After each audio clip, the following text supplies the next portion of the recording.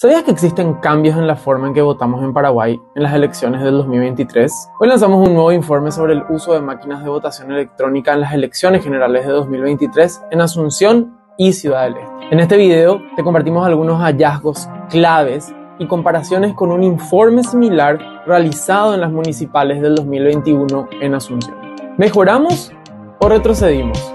Reflejando avances y desafíos que aún persisten, nuestro informe se alinea con observaciones de estas elecciones y del 2021, tanto de la Unión Europea, Parla Sur y organizaciones nacionales como SACA y Almacid.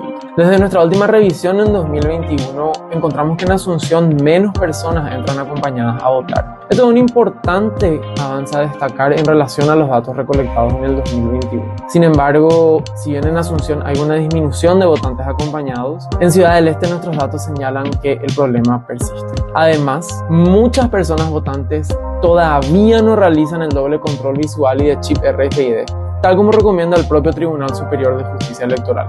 Entre los principales desafíos, encontramos que muchas personas todavía piensan que su voto queda almacenado en las máquinas de votación electrónica, yendo en contra a lo publicitado por el propio TSJE. Esto subraya la necesidad de mayor educación electoral y transversalización en la comunicación electoral por parte del TSJE a través de diversos formatos y plataformas. Además, continuamos con deudas históricas con miras a generar mayor transparencia en el sistema de votación electrónica.